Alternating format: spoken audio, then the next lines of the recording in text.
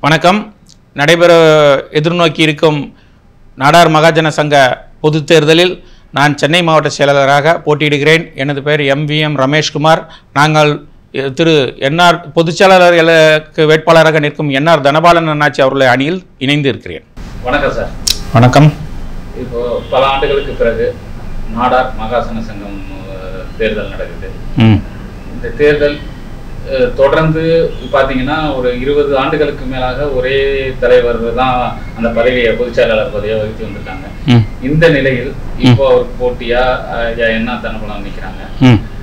இப்போ அது எந்த மாதிரியாக உங்க வெற்றி வாய்ப்பு இருக்கு தற்போதைய அதாவது முன்னாள் பொதுச் செயலாளராக இருக்கிற திரு கரிகோல் ராஜனாச்சி என்ன சொல்லியிருக்காங்கன்னா மாற்ற வேணும்னு தான் கேட்டிருக்காங்க. அவங்களோட பேட்டி ஒன்று பார்த்தேன். கண்டிப்பாக மாற்ற வேணும் மாற்ற வேணும் தான் அந்த பேட்டி ஃபுல்லாகவே சொல்லியிருக்காங்க. அதனால் நிச்சயம் மாற்றம் வரும். புது புதிய பொதுச் செயலராக திரு என்ஆல் தனபாலனாச்சி அவங்க ஜெயிப்பாங்க. வெற்றி வாய்ப்பு உறுதியாக இருக்கிறது. மிக சிறப்பாக இருக்கிறது. இல்ல இப்போ ஒரு நாடார் மக்களின் ஒரு அந்த காலத்திலே ரத்ன சபா வந்து அவங்களுக்கு இதை காட்டணுங்கிறதுக்காக அந்த சங்கத்தை தொடங்கி இருக்கிறாங்க. இப்படிப்பட்ட சூழ்நிலை தனிப்பட்ட ஒருவர்கிட்டயே இவ்வளவு வருஷம் இருக்கிறதுக்கு காரணம் என்ன? அவரை எதிர்த்து யாரும் இத்தனை ஆண்டுகளாக போட்டியிடணும்னு வரலையா அதாவது நீங்கள் சொல்கிறது கரெக்ட் தான். ஒரையார் ரத்னசாமி நாடார் அவர்கள் வந்து நம்முடைய நாடார் நாடார் சமுதாயத்துக்கு ஒரு விழிப்புணர்வு ஏற்படுத்தி சமுதாயத்தை மேலோக்கி விடணுன்றதுக்காக தான் இந்த நாடார் மகாஜன சங்கத்தை உதயமாக்குனாங்க. பின்னாளில் அதில் கல்வி நிறுவனங்களை இணைச்சி நம்ம இன மக்களுக்கு ஒரு மிகப்பெரிய கல்வி அறிவை படிப்பறிவை வழங்கணுன்றதுக்காக இத்தனை கல்வி நிலையங்கள் காலேஜ் எஜுகேஷன் யூனிட்ஸ் எல்லாமே உருவாக்குனாங்க. ஸோ இது அனைத்துமே வந்து கடந்த இருபத்தி ரெண்டு ஆண்டு காலமாக திரு கரிகோல்ராஜ் அவர்கள் வசம் ஒப்படைக்கப்பட்டது. ஒப்படைக்கப்பட்டது என்று தான் சொல்ல வேண்டும். இருபத்தி ரெண்டு ஆண்டுகளுக்கு முன்னாடி வந்து அவர் பொதுச்செயலர் எலெக்ஷனில் ஜெயிச்சு வரல. இன்றைய நமது அண்ணாச்சி திரு என்ஆர் தனபால் அண்ணாச்சி எர எர்ணாவூர் ஏ நாராயணன் அண்ணாச்சி இவங்கெல்லாம் சேர்ந்து தான் அவர் அந்த பதவியில் உட்கார வச்சு அழகு பார்த்தாங்க. பட் அவர் ஜெயிச்சு இந்த பதவிக்கு வரல. சரி அவருடைய நிர்வாகம் நல்லா இருக்கும்னு நினச்சி தான் அவர்கிட்ட ஒப்படைச்சாங்க. கடந்த இருபத்தி ரெண்டு ஆண்டு காலமாக பார்த்துக்கிட்டு தான் இருக்காங்க. அவருடைய நிர்வாக சீர்கேடு மிக மோசமான அளவில் நடந்துக்கிட்டு இருக்கு. நாடார் சமுதாயத்துக்கே ஒரு மிகப்பெரிய அசிங்கமாக அங்கம் வச்சுக்கிட்டு இருக்கார் அவர். ஸோ அதனால அவரை இந்த முறை மாற்றணுன்றதுக்காக தான் எல்லா முக்கிய தலைவர்கள் நம்மளுடைய பெரு பெரியவர்கள் எல்லாம் ஒன்று சேர்ந்து களமிறங்கி இந்த தேர்தலை சந்திக்கிறாங்க. அந்த ரத்னசாமி நாடார் அவர்கள் அந்த குடும்பத்தை சார்ந்தவர்கள் இதுல வந்து பொதுச் செயலாளரா இதுவரையும் வந்ததில்லை. இல்லை அவங்களுடைய குடும்பத்தை பொறுத்த மட்டும் நிரந்தர தலைவர் ப பதவி மட்டும் அவங்களோட குடும்பத்துக்கு வாரிசு வாரிசாக வழங்கப்பட்டு வருகிறது.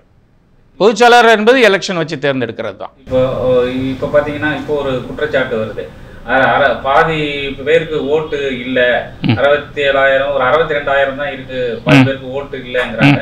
இது எந்த வகையில அதை நீக்கி இருக்காங்களா இல்ல இல்லை இவங்களுடைய நிர்வாக சீர்கேடு தான் அதுக்கு முக்கிய காரணம். இருபத்தி ரெண்டு வருஷமா இருந்து இந்த நாடார் சமுதாயத்துக்கு ஒரு விழிப்புணர்வை ஏற்படுத்தாம நாடார் மகாஜன சங்கத்தை வந்து அனைத்து நாடார்களுக்கும் ஒட்டுமொத்த சங்கம்ன்றதை வெளிப்படுத்தாம இன்றைய இளைய தலைமுறை இருக்கு அதாவது கவர்மெண்ட்ல பார்த்தீங்கன்னா நம்ம பதினெட்டு வயசு முடிஞ்சா நம்ம ஓட்டு போறதுக்கு அரசாங்கம் நம்மளை வீடு தேடி வந்து கூப்பிடுது.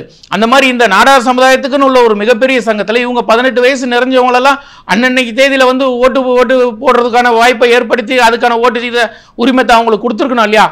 அப்போ இத்தனை வருஷமா தூங்கி முழிச்சிட்டு இன்னைக்கு திடீர்னு எந்திரிச்சு வந்துட்டு நாங்க அடுத்தது அதை செய்கிறோம் அடுத்தது அதை செய்கிறோம்னு அறிக்கை கொடுத்தவங்க ஏன் இருபத்தி ரெண்டு வருஷம் செய்யலாத இன்னைக்கு நாங்க செய்கிறோன்ற அறிக்கைகள் கொடுத்த பின்னாடி தானே நீங்க தூங்கி முழிச்சு எந்திரிச்சு வந்திருக்கீங்க. இருபத்தி ரெண்டு வருஷம் அது உங்க கையில தானே இருந்தது உங்க பொறுப்புல தானே இருந்தது. அதை நீங்க தாராளமா செஞ்சுருக்கலாமே.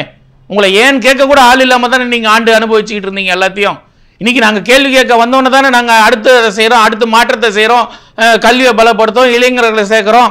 எல்லா வித விதமான பேட்டியும் இன்னைக்கு தானே கொடுக்குறீங்க. இவ்வளவு நாள் எங்க போயிருந்தீங்க நீங்க? இப்போ பார்த்தீங்கன்னா சார் நாடார் மகாசன சங்கத்தை கரிகோல்ராஜ் ஐயா வந்து பல கல்வி நிறுவனங்கள் இது போல தொடங்கப்பட்டிருக்கு. ஆனால் தொடங்கப்பட்ட கல்வி நிறுவனங்கள் பாதி வந்து மூடப்பட்டதான ஒரு குற்றச்சாட்டு அது உண்மையா? கண்டிப்பா. பாலிடெக்னிக்கு ஐடி எல்லாமே மூடி தானே வச்சுருக்காங்க. பத்தொம்போது காலேஜ் இருந்தது. அதில் சரியான நிர்வாகங்கள் கிடையாது. சரியான இவர்களுக்கு வந்து ஆசிரியர்களை பணியமர்த்துறதுக்கு மிகப்பெரிய தொகையை கைவிட்டா வாங்கிட்டு அது அந்த வேலையை செய்கிறதுக்கு இவங்களுக்கு நேரம் சரியாக இருக்குது இவங்க எங்கே அதை பொறுப்பாக செய்வாங்க?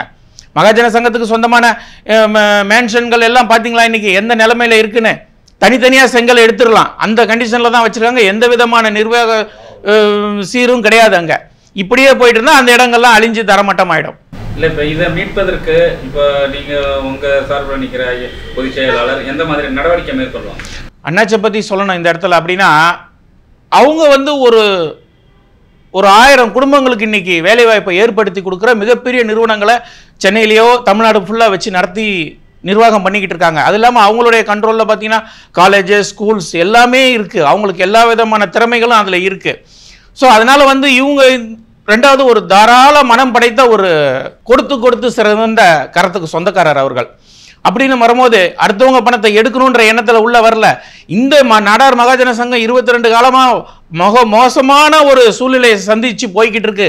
அது கண்டு மனம் வெதும்பி தான் இதுக்கு இதை கையில் எடுத்து நம்ம சரி பண்ணணும்னு சொல்லி இன்னைக்கு இந்த பொதுச்செயலாளர் பதவிக்கு எங்களுடைய எல்லாரோடைய கட்டாய ஊந்துதலின் பேரில் தான் அவங்க இந்த இன்னைக்கு இந்த தேர்தலை சந்திக்க சம்மதிச்சிருக்காங்க. இப்போ என்ன தலபான ஐயா வந்து இப்போ சென்னை சார்ந்தே இங்க இருந்துட்டாரு. அவர் ஒரு தென் மாவட்டங்களில் வந்து அவர் இங்க சென்னைக்கு வர்றதில்ல. உறுப்பினர்களிடையே நேரடியான தொடர்பு இருக்கு அப்படிங்கிற ஒரு இது இருக்குல்ல. தவறு நீங்க சொல்ற தவறு. அவங்கள தெரியாத நாடாரே இருக்க முடியாது. இதுதான் ஷார்ட்டா சொல்லணும்னா.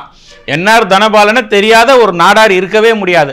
அவ்வளவு தூரத்துக்கு அவங்க ஒரு பரிச்சயமான ஒரு நபர். இரண்டு மூன்று தேர்தலை சந்திச்சிருக்காங்க. அதனால வந்து நீங்க சொல்ற கருத்து தவறானது. இப்போ பாத்தீங்கன்னா சென்னையில வந்து இவ்வளவு நாடார்கள் இருக்காங்க. ஆனா ஓட்டுன்னு பாத்தீங்கன்னா ஒரு ஆயிரத்துல இருந்து ஆயிரத்தி ஐநூறு இருக்கா என்னங்கிறது தெரியல. இப்போ குறிப்பிட்ட சில மாவட்டங்கள்ல மட்டும் இந்த உறுப்பினர்கள் சேர்ப்பது சேர்த்திருக்கிறாங்க. இது அவர்கள் வெற்றி பெறுவதற்காகவே செஞ்ச வேலையா நினைக்கிறீங்களா? இல்லை அப்படி சொல்ல முடியாது. இவங்க உறுப்பினரையே சேர்க்கலையே. இவங்க உறுப்பினரை சேர்த்திருந்த இருபத்தி ரெண்டு ஆளு ஆண்டு காலத்தில் இவங்க ஒரு பத்து லட்சம் பேரை சேர்த்துருந்துருக்கலாமே. இவங்க இன்னும் அதே ஐம்பத்தி அறுபத்தி ரெண்டாயிரத்தில் தானே இவங்க நிற்கிறாங்க ஸோ இவங்க சாதகமால இவங்க அந்த காலத்தில் அவங்க வச்சுட்டு போனதை இவங்க அப்படியே வச்சு காப்பாற்றிட்டு வராங்க. இன்னைக்கு வரைக்கும் அதை முன்னேற்ற பாதையை கொண்டு போகிறதுக்கோ அடுத்த லெவலுக்கு அதை எடுத்துகிட்டு போகணுன்ற சிந்தனை உயர்ந்த சிந்தனை ஒரு படித்த ஒரு விரிவான ஒரு எண்ணங்கள் எதுவுமே இவங்களுக்கு கிடையாது.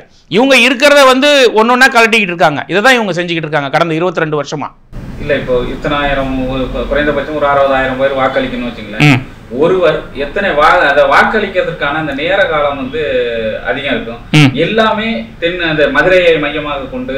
வச்சிருக்காங்க. இப்ப இருக்கிற காலகட்டத்துல அந்தந்த பகுதிகளில் கூட இந்த தேர்தல் நடத்தலாம் தவறு இல்ல.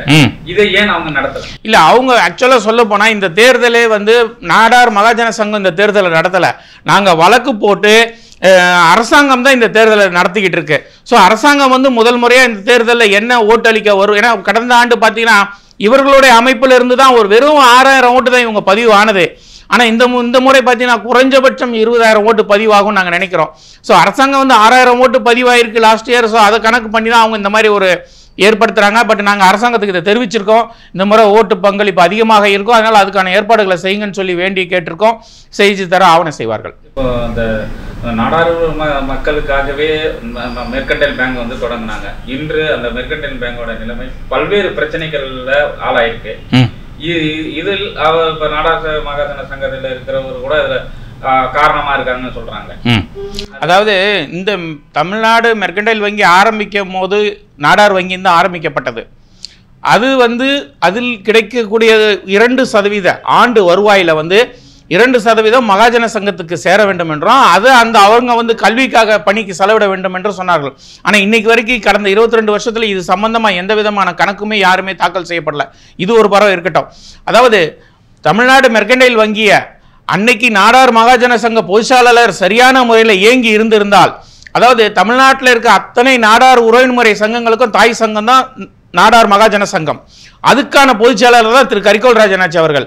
ஸோ அவங்க அன்னைக்கு மனசு வைத்திருந்தால் இந்த தமிழ்நாடு மெர்கண்டைல் வங்கியை அன்றே அவர்கள் எல்லோருக்கும் அழைப்பு விடுத்து இதை சரியான முறையில் செய்து நாம் காப்பாற்றியிருக்கலாம். அன்று அவர்கள் செய்த தவறுதான் என்று நாம் அனுபவித்துக் கொண்டிருக்கிறோம். இப்போ பார்த்தீங்கன்னா சார் இந்த உறுப்பினர் சேர்த்திருக்காங்கல்ல பல பேரோட முகவரி இருக்கட்டும் தொடர்பு என்ன இருக்கட்டும் எதுவுமே வந்து சரிவர இல்லைங்கிற ஒரு குற்றச்சாட்டு இருக்கு. இப்படி இருக்கிற சூழ்நிலையில அவங்கள எப்படி வாக்கு இருந்தும் அவங்கள வந்து அழைத்து வந்து ஓட்டு போட வைக்க முடியாத சூழல் இருக்கு. ஆமாம் இது வந்து முன்னாடி இருந்த நிர்வாக திறமையின்மைன்னு தான் இதை சொல்லணும். ஏன்னா தெளிவான விலாசம் தெளிவான தொலைபேசி எண் இதெல்லாம் இருந்தால் யாராவது போட்டி போட்டி ஈஸியாக ஜெயிச்சுட்டு போயிடுவோம் இல்லையா? அவங்களெல்லாம் தொடர்பு கொண்டு அதெல்லாம் தெரியாமல் இருக்கணுன்றதுக்காக தான் இவங்க இதெல்லாம் வெளியிடாமல் வச்சுருந்தது. இனி நாங்கள் வருங்காலத்தில் இதெல்லாம் தெளிவாக கொடுப்போம். எங்களுடைய இலக்கு குறைந்தது பத்து லட்சம் உறுப்பினர்களை இந்த நிறுவனத்தில் உறுப்பினராக்கி நாடாரை முன்னேற்ற பாதை கொண்டு செல்வது தான் எங்களுடைய குறிக்கோள். சார் இப்படி இப்போ பொதுச் செயலாளர் பதவிக்கு போட்டிடும் என்ன தனபாலன் அவர்கள் பல்வேறு இக்கட்டான சூழ்நிலையில இந்த சங்க இதுக்கு நிக்கிறாங்க. ம். இதில் வெற்றி பெற்று அந்த சூ இதை எப்படி எப்படி சமாளிக்க போறார்? அதாவது இருபத்தி ரெண்டு ஆண்டுகளுக்கு முன்னாடி இன்றைய பொதுச்செயலாளர் அதாவது இன்றைய இல்லை நேற்றைய பொதுச்செயலாளர் இருந்த திரு கரிகோல்ராஜ் அவர்களை அந்த அந்த அரியாசனத்தில் உட்கார வச்சதே திரு என்ஆர் தனபாலன் ஆட்சி அவர்கள் தான் அதாவது அன்னைக்கு வந்து பார்த்தீங்கன்னா அவர் வெறுங்கையை வீசிட்டு வந்தவர் வெறுங்கையோடு நடந்து வந்தவர்.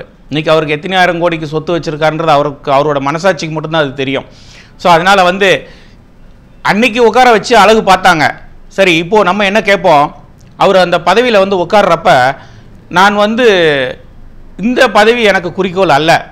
நான் வந்து ஒரு மூன்று மாத காலம் இதில் வந்து அங்கம் வகிக்கிறேன். அதுக்கு பின்னாடி வந்து யாராவது ஒரு நல்ல மனிதரை கண்டு நான் அவரை இந்த பொதுச்செயலாளர் பதவியில் உட்கார வச்சுட்டு ஏன்னா எலெக்ஷன் வச்சு ஜெயிக்க வச்சு இவர் உட்காரல. இவரை இவங்க அமர வச்சாங்க.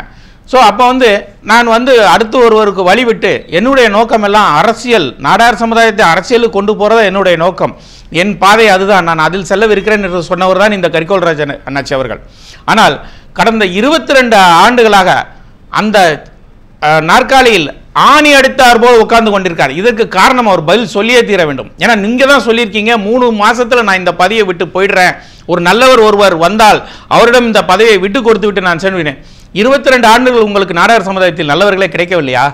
பதில் சொல்லுங்க இதுக்கும் நீங்க பதில் சொல்லுங்க. எல்லாத்துக்கும் பதில் சொல்றீங்கல்ல. சரி அடுத்த கேள்வி. மாற்றம் வேண்டும் மாற்றம் வேண்டும் உங்க பேட்டியை பார்த்தேன். இப்போ சொல்லிக்கிட்டே இருக்கீங்க. கண்டிப்பாக அந்த மாற்றம் உங்கள் வாயிலேருந்து வந்திருக்கு. கண்டிப்பாக அது நடக்க தான் போகுது. மாற்றம் தான் நடக்க போகுது இப்போது ஏன்னா நீங்களே கேட்டுட்டீங்க இல்லையா? அது உண்மையிலே வந்து உங்களை இந்த இடத்துல நாங்கள் மனதார பாராட்டுக்கிறோம் அடுத்த அதுக்கு இதுக்கு அடுத்தபடியாக நான் உங்களை கேட்குறோன்னா இருபத்தி ரெண்டு ஆண்டுகள் இதில் இருந்திருக்கீங்க. நீங்கள் என்ன சாதிச்சிருக்கீங்க? ஏன் ஒரு முறை வந்து இப்போது அண்ணாச்சி உங்களை அமர வச்சவங்க தான் இன்னைக்கு வந்து எலெக்ஷனில் நிற்கிறாங்க உங்களுக்கே நல்லா தெரியும். உங்களுக்கு மிகச்சிறந்த நண்பரும் கூட. அவர்களால் நீங்கள் அடைந்த பலன் எண்ணில் அடங்கா பலனை நீங்கள் அடைஞ்சிருக்கீங்க அவங்களால.